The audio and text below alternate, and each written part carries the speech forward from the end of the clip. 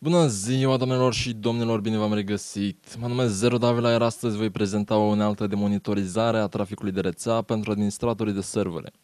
Unealtă se numește IPTraf și ne afișează conexiunile TCP, numărul de pachete și de bytes, statistici de interfețe, recunoaște un număr de protocoluri, cum sunt IP, TCP, UDP, ICMP, IGMP și altele, suportă toate interfețele de Ethernet, loopback local, interfețe FDDI, SLIP și uh, informațiile adunate de IPTraf, ne ajută la a lua decizii de organizare a rețelelor, la troubleshooting și la monitorizarea activității de la anumite adrese IP. Uh, trebuie să fim root pentru a folosi și când îl deschidem uh, ne oferă o interfață pentru utilizator în terminal.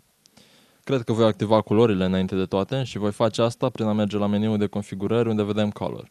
Color are un switch de tip toggle, deci trebuie doar să apăsăm Enter și apoi restartăm programul pentru a vedea uh, modificările. Deci ieșim, scriem sudo iptraf și acum avem culorile.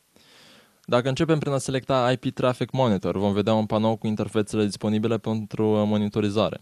Loopback, Wireless LAN, Ethernet și opțiune care afișează traficul de la toate amestecate. Fereastra de ne oferă adresele și porturile sursă, numărul de pachete, numărul de bytes, flagurile TCP și interfețele. Dacă apăsăm S, vedem o fereastră care ne oferă două opțiuni de sortare, după numărul de pachete sau după numărul de bytes.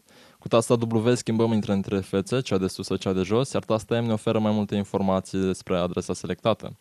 Pentru a face datele mai citibile, fiecare protocol are o culoare rezervată. Și chiar dacă am ales toate interfețele, singura care primește trafic e Wireless LAN pentru mine. Dar vom vedea că dacă selectăm Ethernet 0 sau Loopback nu ne va afișa nimic. Iar astea trei sunt doar interfețele disponibile mie. Dacă aveți mai multe, vor apărea aici. Dacă merge la statistici generale, putem vedea mai clar cât de active sunt interfețele în parte. Ne afișează numărul de conexiuni IP și non-IP și mai monitorizează bad IP, adică adresele IP care se află pe o listă neagră. Adresele cunoscute pentru spamări în masă, malware sau domenii invalide, și toate datele astea combinate ne pot ajuta să ne dăm seama dacă cineva a lansat un anumit tip de atac împotriva serverului nostru. Dacă selectăm statistici detaliate, mai putem vedea numărul de pachete și de bytes, nu doar care l-am primit, dar și care le-am oferit noi ca răspuns. Mai vedem că în stânga sus le-a categorizat după protocol, pachete IP, TCP, UDP și ICMP. În stânga jos ne va afișa ratele de kilobytes și pachete pe secundă și ne mai arată numărul de pachete cu erori de checksum, care ar putea indica că cineva ne scanează serverul și vrea să-și dea seama dacă avem un firewall, pe lângă altele. La Statistical Breakdown avem două opțiuni, după mărimea pachetelor sau după porturile TCP-UDP. După care va trebui din nou să alegem o interfață. Breakdown-ul după mărimea pachetelor va lua MTU-ul interfeței, adică Maximum Transmission Unit, și îl va fragmenta în 20 de bucăți. Fiecare bucată conține o rază de mărimi. La momentul interceptării al unui pachet, mărimea lui e determinată și e, numărătoarea razei adecvate va fi incrementată. Breakdown după porturi facilitează generarea statisticilor al traficului TCP și UDP și ne afișează numărul de pachete TCP și UDP cu tot cu numărul porturilor de origine și cele destinatare. Porturile dintre 1 și 1023 sunt rezervate pentru aplicații TCP/IP și mai sunt cunoscute ca porturi populare. Acum, stația de monitorizare pentru Local Area Network descoperă și afișează adrese MAC și numărul de pachete primite și transmise. Uh, mai include și numărul de kilobytes pe secundă uh, pentru fiecare stație descoperită. Pentru uh, fiecare afișare avem două linii, cea de sus conține tipul de stație LAN, adică Ethernet, PLIP, Token Ring sau FDDI și adresa MAC de hardware. A doua linie conține numărul de pachete primite, numărul de pachete IP primite, numărul de bytes, rata și viceversa. Din nou, dacă apăsăm tasta S, avem câteva criterii de sortare în care putem alege.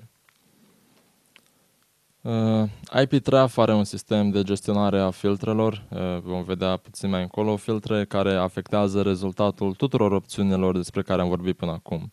Proaspăt instalat nu conține niciun filtru definit, dar o putem defini noi cu opțiunea Define New Filter. Asta ne va oferi o căsuță în care să scriem o descriere scurtă al filtrului, uh, orice care îl identifică și îl definește, Apoi am putea introduce adrese individuale, rețele și adrese de tip catch-all, adică wildcard-uri în forma adreselor subnet. Nu sunt chiar subnet, sunt puțin diferite.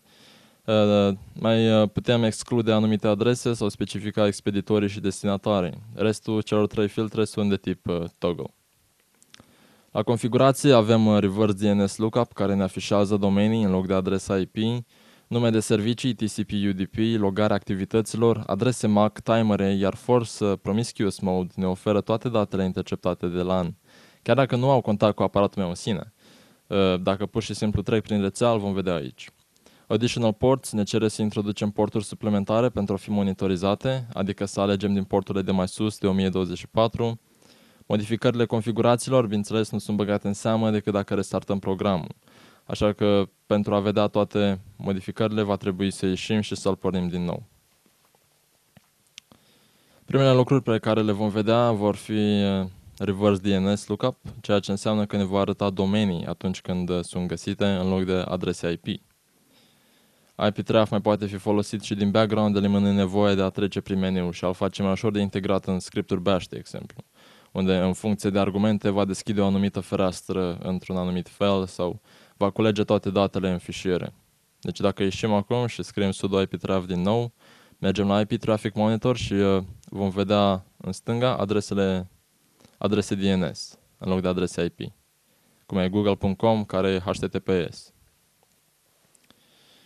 Hai, cam atât a fost pentru ziua de azi. Nu uitați să dați like, să vă abonați, să ne căutați pe Facebook și la www.tutorialevideo.info pentru mai mult conținut în domeniul tehnic.